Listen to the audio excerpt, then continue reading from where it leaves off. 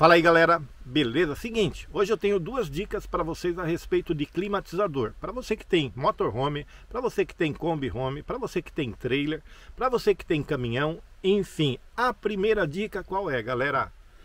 Originalmente, a guarnição que vem no climatizador é um pouco maior que essa, porque ela é para vários tipos de veículos, né? E eu fiz essa guarnição aqui, ó, que ficou bem mais sutil. Então no vídeo a seguir, eu vou mostrar para vocês um passo a passo como fazer essa guarnição bem simples, vídeo rápido, dica bacana. E logo depois eu passo para vocês a segunda dica. Vamos lá ver? E originalmente ele vem com essa guarnição aqui, pessoal. Vem grande assim por quê? Para atender a várias situações. Caminhão, de repente ônibus, de repente micro-ônibus. Então ele vem desse tamanho. Muitas vezes o veículo, no meu caso aqui, por exemplo, o veículo não há necessidade de ser uma guarnição tão grande. A dica que eu vou dar para vocês é essa, para ficar uma, um acabamento mais delicado e mais sutil. Bora lá ver? Já soltei os parafusos, agora vou tirar ela. O que, que a gente vai fazer, pessoal? F Ultra. Marca aqui, ó. Né? E vem e corta com a tico-tico. Eu tô com a peça aqui já pronta, ó. Então eu peguei um MDF, cortei, primeiro cortei a parte central, né? Cortei a parte central aqui. Depois que eu cortei, eu dei acabamento com lixa para encaixar certinho, então ele encaixa certinho aqui, ó. E depois eu fiz o outro corte aqui, ó, acompanhando, fiz uma linha e fiz acompanhando o corte aqui, ó, para ficar num formato parecido, né, para acompanhar essa parte central. Aqui, ó, eu filetei com borda, ó, a gente vai usar uma cola, essa cola aqui, ó, três pingos, três não, quatro pingos, um em cada canto, em cada ponta.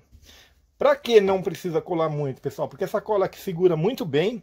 E caso necessário, se você precisar fazer manutenção, você coloca uma faquinha, alguma coisa, você puxa, você consegue tirar.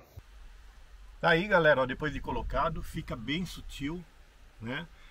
Sai aquele volume da guarnição original. Lógico que aquela guarnição original ela é para atender, como eu falei para vocês, vários tipos de situações, vários tipos de veículos.